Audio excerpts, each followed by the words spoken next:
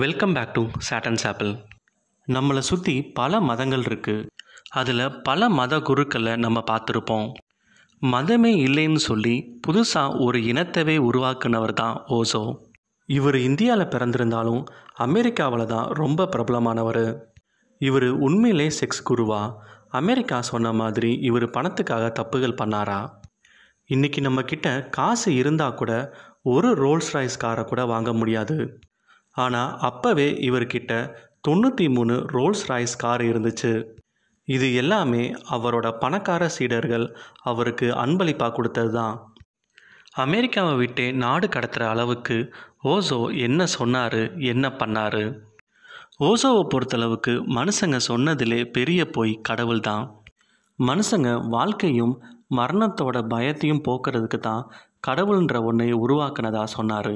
குறிப்பிட்டு ஒரு மதம்னு இல்லாமல் எல்லா மதத்தையுமே அவர் கிண்டல் பண்ணி பேச ஆரம்பித்தார் ஓசோ என்ன சொன்னாரோ அது அடுத்த நாள் அமெரிக்காவோட நியூஸ் பேப்பரில் தலைப்புச் செய்தியாக வர ஆரம்பிச்சிச்சு. ஓசோவை பொறுத்தளவுக்கு பிரம்மச்சரியம்ன்றது தேவையே இல்லாத விஷயம். கடவுளை அடையிறதுக்கு நம்ம நம்மளோட உடம்ப வருத்திக்கணுன்ற அவசியம் கிடையாது. இதை சொன்னது மட்டும் இல்லாமல் அவர் எல்லா மதத்தையும் கிண்டல் பண்ணி பேச ஆரம்பித்தார் போப்பை கூட விட்டு வைக்கல. கல்யாணன்ற விஷயம் இந்த உலகத்தில் இருக்கக்கூடாதுன்னு சொன்னார். இது வரைக்கும் கல்யாணம் பண்ணவங்க அத்தனை பேரும் உடனே விவாகரத்து வாங்கணும்னு சொன்னார்.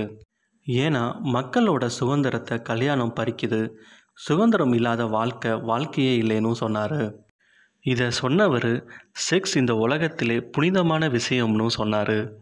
நீங்கள் குழந்தைய பெற்றுக்கலாம் ஆனால் நீங்கள் வளர்க்குறதுக்கு பதிலாக இந்த சொசைட்டி அந்த குழந்தைய வளர்த்தா அந்த குழந்தை இன்னும் அறிவாக வளரும்னு சொன்னார். இவர் சொல்கிறபடி பார்த்தா நீங்கள் கல்யாணம் பண்ண வேணாம் ஆனால் குழந்தை பெற்றுக்கலாம் அந்த குழந்தைய நீங்கள் வளர்க்கணுன்ற அவசியம் இல்லை. இந்த சொசைட்டி மொத்தமும் சேர்ந்து அந்த குழந்தைய வளர்க்கும். கேட்குறதுக்கே வித்தியாசமாக இருக்குல்ல? இதை நான் சொல்லி கேட்கும்போது உங்களில் பல பேருக்கு கோபம் கூட வரலாம். ஆனால் இதே இது நீங்கள் ஓசோ சொல்லி கேட்கும்போது தான் அதோட வித்தியாசம் உங்களுக்கு புரியும். உங்களுக்கு உண்மையிலே ஓசோவை பற்றி தெரிஞ்சுக்கணும்னா ஓசோ இன்டர்நேஷ்னல்னு யூடியூப்பில் ஒரு சேனல் இருக்குது மற்றவங்க சொல்லி கேட்குறத விட டைரெக்டாக அவர் சொல்கிறதவே இந்த சேனலில் நீங்கள் கேட்டுக்கலாம். ஓசோ சும்மா சொன்னதோடு நிற்காம அதை செஞ்சும் காட்டினாரு. அமெரிக்காவில் இவரோட சீடர்கள் இவருக்கு அறுபத்தி நாலாயிரம் ஏக்கர் இடம் வாங்கி கொடுத்தாங்க. அந்த இடத்துல ரஜினிஸ்புரம்னு ஒரு ஆசிரமத்தைவே உருவாக்குனாரு. அந்த இடத்துல பல லட்சம் பேர் இவரை பார்க்க வந்தாங்க. ஐயாயிரம் பேருக்கு மேலே அந்த இடத்துல தங்கவும் செஞ்சாங்க. அங்கே இருக்கிற மக்களே விவசாயம் பண்ணி அவங்களே சாப்பிடவும் ஆரம்பித்தாங்க எந்தவித கட்டுப்பாடும் இல்லாத ஒரு சமூகம். ஓசோவை தடுத்து நிப்பாட்டலைன்னா இந்த ஐயாயிரமாக இருந்த சமூகம் இன்னைக்கு அஞ்சு லட்சமாக மாறியிருக்கலாம். இவரை பொறுத்தளவுக்கு கவர்மெண்ட் எந்த விதமான ட்ரக்ஸையும் தடுத்து நிப்பாட்டக்கூடாது. அதுக்கு பதிலாக உடம்புக்கு கேடு தராத ட்ரக்ஸை கவர்மெண்ட்டே உருவாக்கணும். இந்த மாதிரி கவர்மெண்ட் ஏற்றுக்க முடியாத பல விஷயங்களை சொன்னனால தான் ஓசோவை ஒரு செக்ஸ் குருன்னு முத்திரை குத்தி அமெரிக்கா விட்டு அமுச்சு விட்டுட்டாங்க.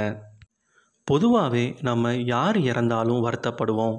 அதுவும் நமக்கு பிடிச்சவங்க இறந்துட்டா சொல்லவா வேணும்?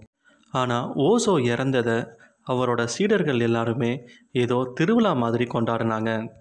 இப்படி ஒரு சமூகம் உருவாகாமல் தடுத்தது தப்பா சரியான்னு எனக்கு தெரியல. ஒருவேளை ஓசோ நினச்ச மாதிரியே ஒரு சமூகம் உருவாகியிருந்தா எப்படி இருந்திருக்கும்?